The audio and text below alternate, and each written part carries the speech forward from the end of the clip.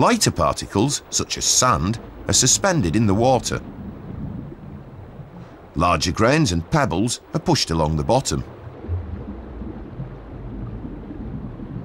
The faster the river flows, the more it can carry. In this way, fragments of rock are transported towards the sea.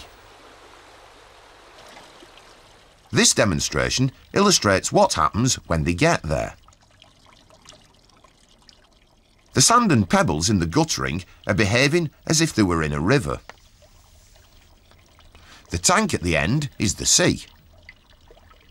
Where they meet, the flow of water slows down.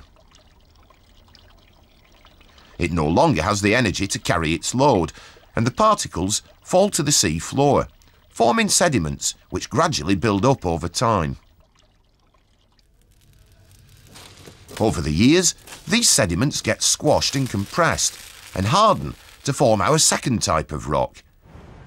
Two clues for spotting sedimentary rock are grains and layers. This one is called sandstone. All sedimentary rocks are formed under the sea, but they aren't all made of sand.